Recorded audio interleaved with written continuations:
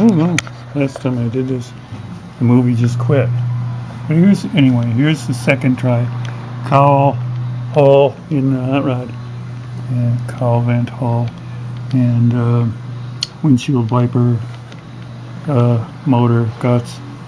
And there's a support uh, right here, which I'm gonna mount a motor on, which is over here in the workbench.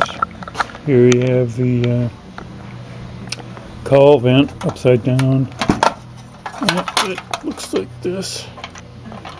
Okay, here's the hinge mechanism with adjustments to allow the cowl vent to sit down there right.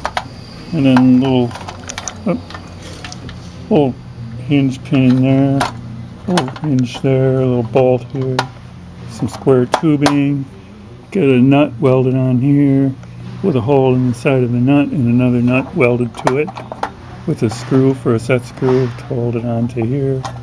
This a little DC motor that's got two uh, uh, wires going to the brushes and then it runs a, the motor so that you can run it in either direction.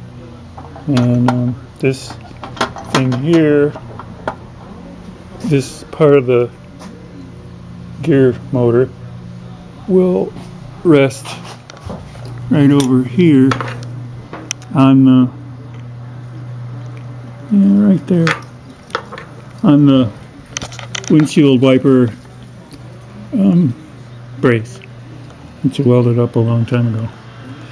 So that's the idea anyway and then the cowl vent will go in there and it'll go like this up and down automatically um, they got a little drainage deal in here for if any water gets in there but I'm not going to be driving in the rain that much so I'm not going to worry about it. So that's just going to close up and that's the plan.